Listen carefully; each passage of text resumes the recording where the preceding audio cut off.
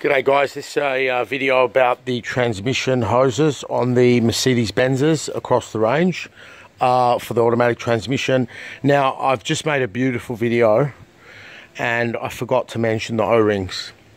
Okay, you need to replace the O-rings. What's interesting here, the genuine ones have arrived, are black. And in the day, green used to mean, mean synthetic resistant, whatever. But the new O-rings are black. Okay. And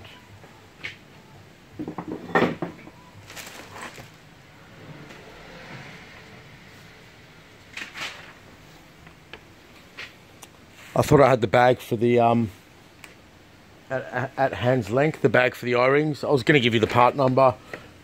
This is the part number.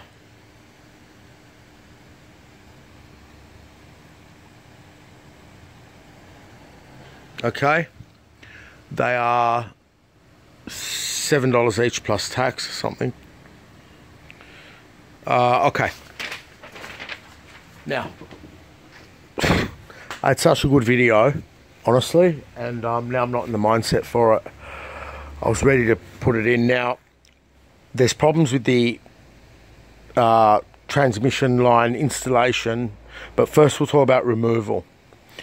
The transmission lines are quite short, and they're held on here, even if it's a C C CLK compressor, whatever. It's held on there. You, you might need to loosen the bolt there, especially if people have bent anything or if it's been crashed or anything. You'll find that maybe the hoses shrink. Sometimes there's a lot of tension on the hoses. You don't want that on installation. Okay, when removing the transmission hoses, once you lift the clip, that they're not going to come off that easily if it's not been touched for years and spray silicone, be patient, but I do find that removing the clip altogether helps. Now, the way these work is that these are in a specific position. You can now note that position because what happens is that's what happens.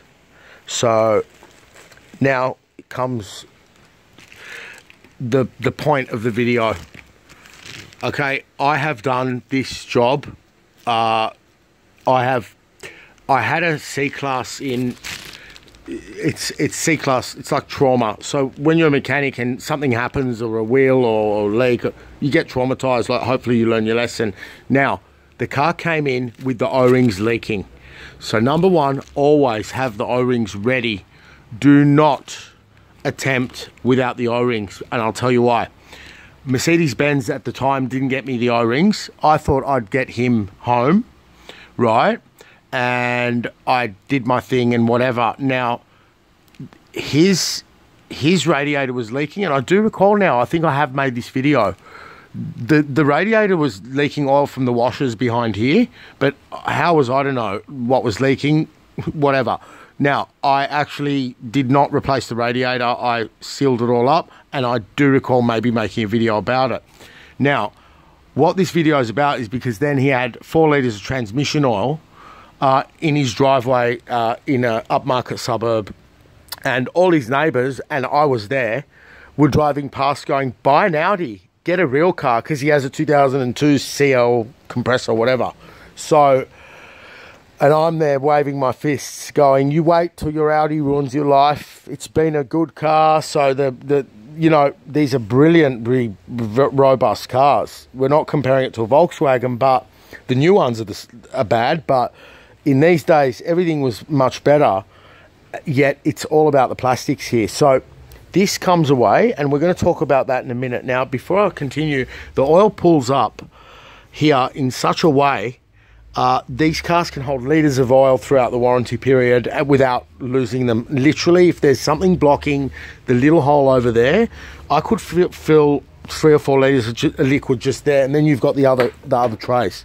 So now, to the point of the video, what happens is the clip falls, just say. You're trying to get the hose out. They are, with the water hoses, quite tight. These are very fragile rings here.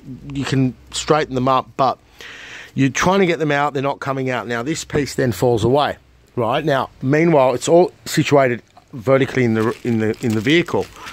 What happens is, firstly, you could put it on the wrong place, okay? you could put it on the wrong place. Secondly, you put it on, right? It's not seated.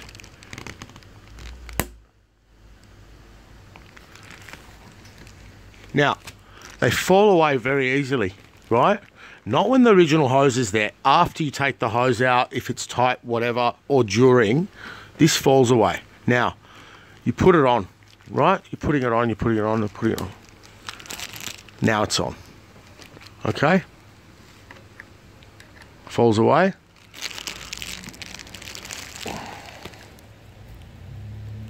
See the groove?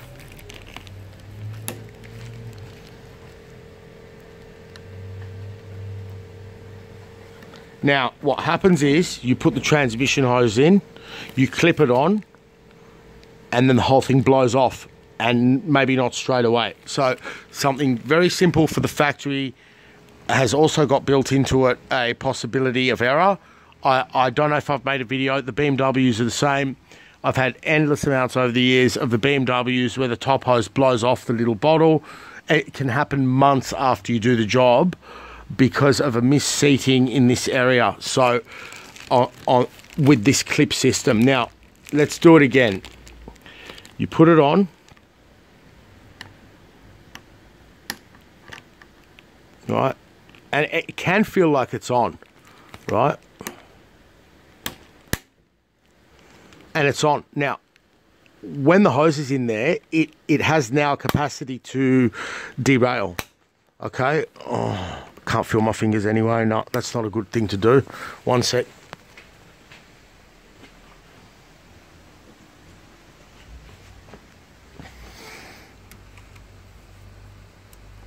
I actually use plastic when I do this. Um, I've got a plastic thing I use because of the.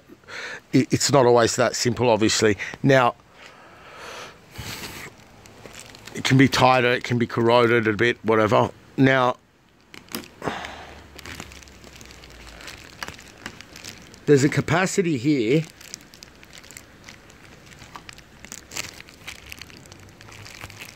for that to happen. That's it. So it's happening now, right?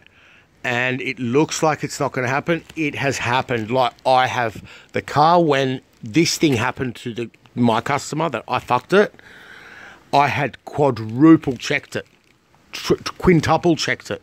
It was on you know, you can pull the hoses, and uh, obviously, when installing, you know, you can't have them put new O rings on it and then have the hoses flying back and hitting the O rings. These are things that happen, okay? Um, so, I just want to go to this top one. So, as you can see, there's an orientation here. Okay, so what's going to happen is this will fall away. Okay, so you've got to bring it up onto this step position. And when you're removing it, it won't be enough. So when removing it, I, I don't remember a time I didn't have to pull the clips out. So it, it won't be enough to take, to get this finely, finely made surface out. This is a sealing sort of, you know, the O-ring does the sealing, but it, it, it gets quite tight, right? So then what happens is this falls away. You now come back going, oh, right now it's designed that you shouldn't be able to do this because there's grooves, see? But you can, right? That's now wrong, wrong, wrong because the grooves in here are not lining up with the grooves in here. See? It's common sense, but when this is in the car, and even in a in a good working environment, things can go wrong, right? And that's how they go wrong. That's this is how it can go very very wrong. Now you don't know any better. I can already feel it's not right. You don't know any better, do you? There you go. Oh. So it looks like oh you can't do that and it, it is designed really that the hose will blow off straight away but it doesn't now bear in mind on the other car and what i'm talking about you don't need to misalign this plastic to fuck the car okay there's two ways. One was that way, and the other way is this way. So, as you can see, I have not lifted it onto its correct position. So it's now it's securely in there and it's come off. Now, what it is, is what I showed you. Okay, which I'll have to replicate here again. Just to drive drive in the the point. One sec, I'll pause it and be back. You know, the problem is with the pause thing, even on the Samsung, whatever, top of the line phone, if someone rings me now, I lose my pause ability, or if another app takes over. So I don't like pausing, but okay. Now, note position of these rings, but if you fuck it up, you could see the position from from when I started the video. That's the factory position. It should pretty much be all the models. I'm not sure. It might not be on a C-Class, but generally they're, they're, they're all like this. And you bring this up here, you do your thing, you take your hose out, you know, carefully, right? You loosen the, the clamp there if you need to, which I, rec I recommend loosening the clamp if you're doing the job from underneath. Okay, if you're doing it from the top, it's different. Uh, now, the clip comes away, you put it back, right? And you think you've put it back. Is that on? It is on. Right. The the original ones I've tried before before when I disassembled is is not as hard uh, is is harder. So there is now a possibility of not securing the clip okay that's in okay they come away but that's in but it falls off but that's in okay when you're jiggling around and uh, that's it it's not on anymore. So I wonder in Germany I reckon in Germany you put V8s and that in these cars and I know what the Germans would do because I'm gonna I would do it myself. Glue, spot of super glue, like you do on some certain gaskets that move, like an oil pump O-ring. Uh, not that you put super glue on an oil pump O-ring, but you put the correct grease to hold it on, like on a Subaru when you're doing an oil pump. Because this is this is just something so simple, and I had to clean up the oil. I had to refill the vehicle there, right? Uh, obviously, to refill a Mercedes, you need the the dipstick tool, but you don't have to. You just use your common sense. So if you're doing the radiator, catch the oil, like measure it. Like I assure you here, the quantity of oil that came out of this Mercedes Benz of the transmission lines was like that. Okay. and that's what the video is about it's just from experience but having them and hearing them and seeing hearing the stories and seeing them i've seen them on tow trucks with oil pouring out the front okay? And this is you know as a mechanic you'd hope it happened in the workshop that when you checked it it pulled out but this is this is pressurized oil from the transmission okay? And it's flammable as well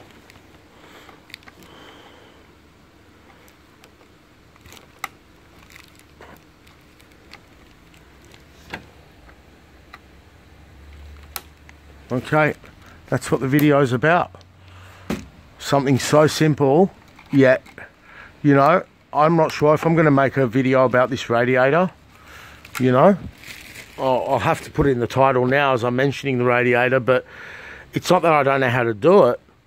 It's just that it had been done before, and regarding the bottom, the bottom, one of them one of them was broken. So, you know, I, I guess I'll have to make a quick one about the radiator, but my recommendation is going to be to, um, my recommendation is going to be to print out a factory PDF uh, where you can see how to release certain things on the radiator and my recommendation is to tie this back here like that.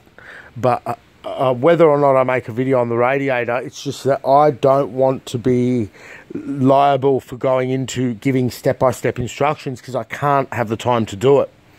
So here I'm not giving you step-by-step -step instructions of removing the undercarriage and whatever trace but you know I will tell you, you can access and diagnose and possibly do work on the top one from above most of the Mercedes vehicles fitted with this system. But for the bottom one, to release that hose because it was that hose uh, that was bent slightly on the CLK in a combination with my error and bad lighting in that situation. It's all very easy to light this up from here, you know, I've got lights going, but it's very different on the car. This is extremely high risk, okay? Uh, and it's not just about that clip coming off. It's about the orientation of the clip. And don't forget, I said it was leaking from those washers, okay? So, my duty now is to just check these are tight which we always do. Um, we always do. I don't have the tools at hand, but yeah, check those are tight, but I have had the leak from back there. So if your Mercedes is leaking in a controlled manner, and you, and from the O-rings possibly, you can diagnose it from the top if you've got a good light and you clean it up and then look at where the oil's coming from. But regardless, you're going to need the O-rings.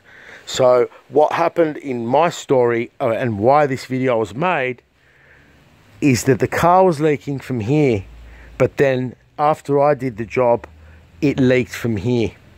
Okay, and it was catastrophic. Luckily, it happened when the vehicle was standing and parking.